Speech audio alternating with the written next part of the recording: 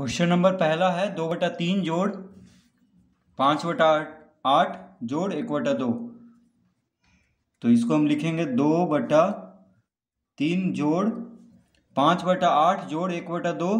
कोष्टक में है, देखिए, छोटा कोष्टक में। तो देखिए, पहले छोटा कोष्टक हल करेंगे, ठीक है?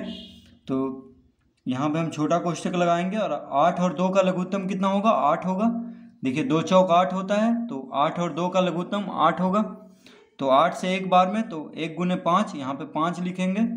जोड़, देखिए दो से आठ कितना बार में लगता है? चार बार में, दो चौक आठ। तो चार गुने एक, चार हो जाएगा यहाँ पे। ठीक है, दो चौक आठ, चार गुने एक, चार। अब देखिए इसको हम लिखेंगे दो बटा तीन जोड़ पाँच चार। अब इसको जोड़ लेंगे तो पाँच चार नौ हो जाएगा। बटा आठ अब छोटा कोष्टक को हटा देंगे। ठीक है? छोटा कोष्टक को हटा देंगे अब। तो जब भी कोष्टक में रहे तो पहले कोष्टक को हल करेंगे। देखिए, इस तरह में पहले छोटा कोष्टक को हल कर लेंगे, उसके बाद हम दो बटा तीन से हम इसको जोड़ेंगे। तो दो बटा तीन जोड़ नौ बटा आठ। तो आठ और तीन का लघुत्तम कितना हो जाएगा? आठतिया चौबीस। आठतिया चौबीस। देखिए तीन और आठ का लघुत्तम चौबीस। तो तीन ही आठी, चौबीस तो आठ दूनी, सोलह, जोड़।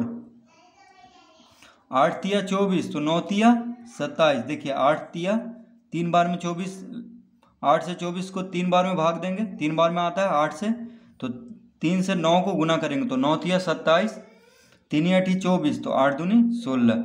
अब देखिए, इसको हम जोड़ देंगे तो कितना आ जाएगा?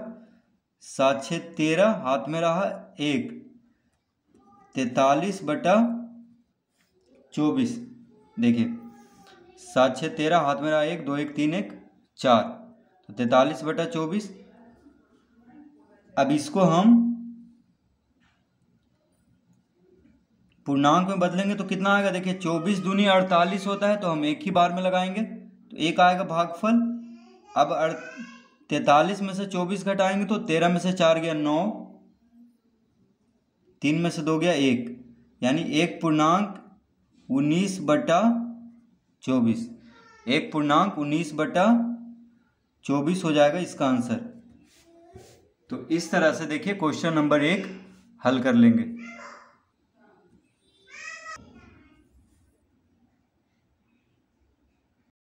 क्वेश्चन नंबर दूसरा में है, आठ पूर्णांक एक बटा दो, जोड़ तीन पूर्णांक तीन बटा चार गुना सात पूर्णांक एक बटा दो।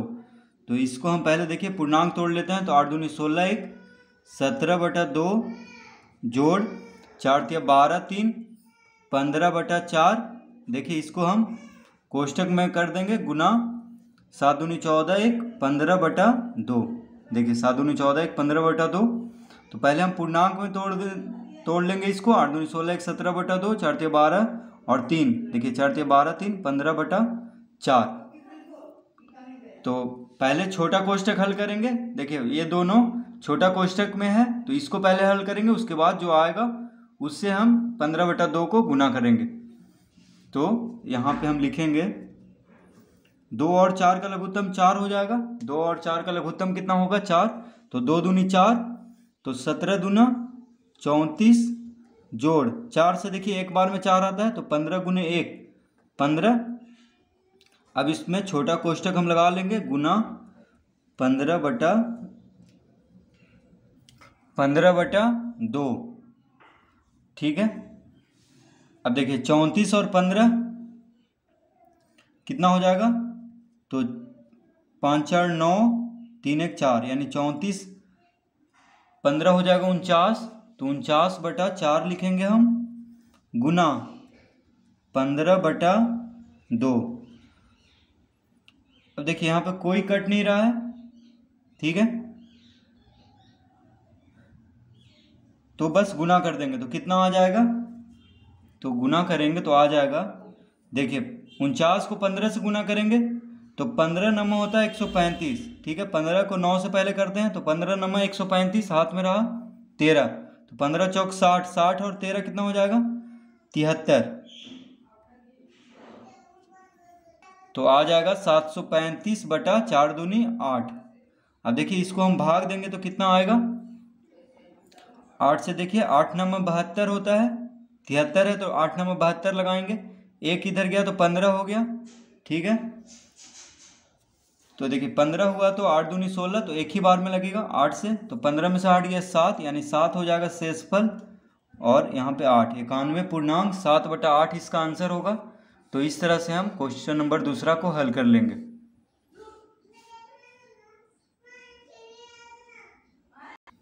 क्वेश्चन नंबर तीन, पाँच पूर्णांक एक बटा तीन गुना दो पूर्णांक दो बटा सात जोड़ तीन पूर्णांक दो बटा सात।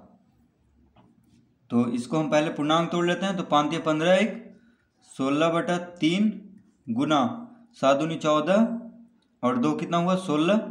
तो सोलह बटा सात जोड़ सात या इक्कीस और दो कितना हो गया? तेईस। तो तेईस बटा सात। तो ये दोनों को हम छोटा कोष्टक में कर देंगे, क्योंकि कोष्टक लगा हुआ है। अब देखिए, पहले छोटा कोष्टक हल होगा, उसके बाद जो आएगा, उसके साथ इसको गुना करेंगे। तो इसको बस लिख देते हैं हम, सोलह बटा तीन गुना सात। सात का लघुत्तम कितना हो जाएगा? सात सात का लघुत्तम हो जाएगा सात। यहाँ पे लिखेंगे सोलह जोड़ तेईस। अब यहाँ पे हम लिखेंगे सोलह बटा तीन गुना छ तीन नौ, दो एक तीन। उनचालीस बटा सात। देखिए छः तीन नौ, दो एक तीन। तो उनचालीस बटा सात हो गया। अब तीन से उनचालीस काट देंगे। देखिए, तेरह तिया उनचालीस होता है। तो तीन से उनचालीस को काट देंगे हम तेरह बार में। ठीक है? अब देखिए, सोलह गुने तेरह कितना हो जाएगा? तो सोलह तिया अड़तालीस, हाथ में रहा चार तो सोलह गुने एक, सोलह और चार बीस तो दो सौ आठ बटा सात।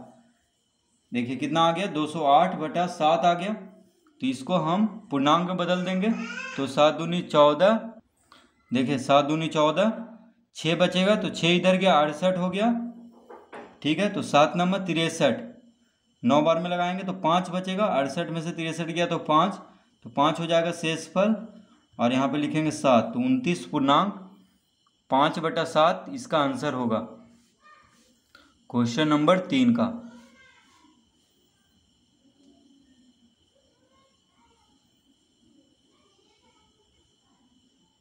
क्वेश्चन नंबर चार तो क्वेश्चन नंबर चार है, पच्चीस पूर्णांक एक बटा दो, घटाओ दो पूर्णांक एक बटा तीन गुना आठ पूर्णांक तीन बटा चार जोड़ एक पूर्णांक तीन बटा चार। तो देखिए, पहले पूर्णांक तोड़ लेते हैं। तो पच्चीस दूनी पचास एक। इक्यावन बटा दो घटाओ। तीन दूनी छः एक। सात बटा तीन गुना। देखिए, आठ चौक बत्तीस बत्तीस तीन। पैंतीस बटा चार जोड़। चार गुने एक चार चार तीन। सात बटा चार। तो देखिए, जो कोष्टक में, उसको कोष्टक में ही कर लेंगे। ठीक है, ये कोष्टक में देखिए, छोटा कोष्टक लगा हुआ है इसमें। तो पहले कोष्टक हल होगा, छोटा कोष्टक उसके बाद गुना भागा जो भी है, उसके बाद होगा। तो पहले देखिए, छोटा कोष्टक में जो है जोड़, उसको हल कर लेंगे। उसके बाद हम ये सब हल करेंगे। तो देखिए, यहाँ पर लिखेंगे हम इक्यावन बटा दो घटाओ, सात बटा तीन गुना। अब चार और सात का, चार और चार का लघुत्तम कितना हो जाएगा? चार। तो पैंतीस जोड़ हो जाएगा सात। ठीक है? कोष्टक लगा देंगे। तो यहाँ पे हम लिखेंगे इक्यावन बटा दो घटाओ सात बटा तीन गुना पैंतीस। सात कितना हो जाएगा देखिए? सात पाँच बारह यानी बयालीस बटा चार। ठीक है? अब देखिए, यहाँ पे गुना है, अब तो छोटा कोष्टक हटा देंगे क्योंकि हल हो चुका है। छोटा कोष्टक को हम हल कर चुके हैं। तो गुना है और घटाव है। तो पहले क्या होगा? गुना हल होगा। उसके बाद ही घटाव हल होता है। तो देखिए, पहले गुना की क्रिया होता है, उसके बाद घटाव की अंत में।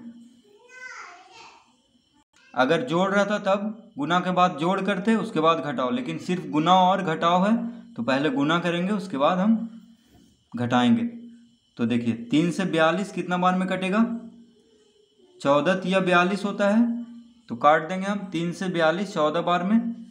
अब इसको हम लिखेंगे इक्यावन बटा दो घटाओ चौदह सते तो देखिए, सच्चों का अट्ठाईस, सात दो नौ, यानी अंठानवे बटा चार है यहाँ पे। हर में चार है, अंश में चौदह सते अंठानवे। अब दो और चार का लघुत्तम कितना होगा देखिए, चार, दो और चार का लघुत्तम चार, दो दूनी चार तो इक्यावन दूनी, देखिए एक सौ दो इक्यावन दूनी एक सौ दो घटाओ, यहाँ पे देखिए चार से चार एक बार में तो यहाँ पे सिर्फ़ अंठानवे लिख देंगे, अंठानवे गुने एक, अंठानवे। अब एक सौ दो से अंठानवे घटाएँगे तो कितना आएगा? देखिए, एक सौ दो से अंठानवे घटाएँगे तो आ जाएगा बारह में से आठ गया चार, ये हो गया नौ, शून्य, यानी चार आएगा, एक सौ दो में से अंठानवे घटाने पे तो चार बटा चार। चार बटा चार काट देंगे, क्या आएगा? बराबर एक। चार से चार देखिए, एक बार में कट जाएगा। चार गुने एक चार होता है तो एक आ जाएगा इसका आंसर। तो इस तरह हम क्वेश्चन नंबर चार हल कर लेंगे।